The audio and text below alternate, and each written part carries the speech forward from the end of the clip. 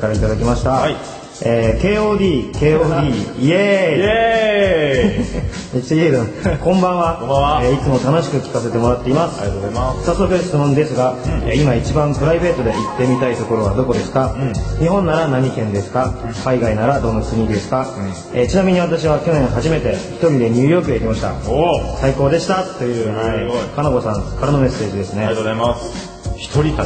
すげえな絶対無理だな俺まだちょっとな。怖いもんだって。怖いもんなあこれ。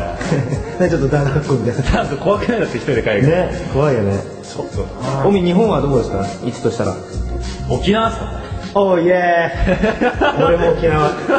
急な外人乗り。いや俺も沖縄で行きたい。よね。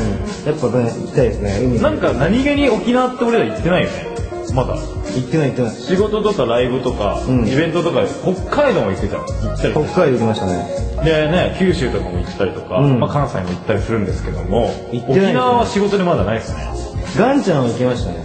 あ行ってたね。あのケンチさんと一緒に。そうだね。スね。はい訪問で、うん。じゃあ今度行きましょう。これ行きましょうね。あのスタッフの皆さん。マネージャーの H 氏あブー。あブー。ブー。がバツ出てます なんでなんで？ライブライブしに行こうよライブ。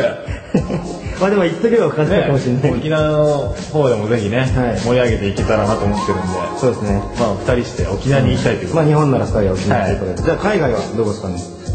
海外か、でも今はあったかいところに行きたいから、うん。まあ、ハワイ。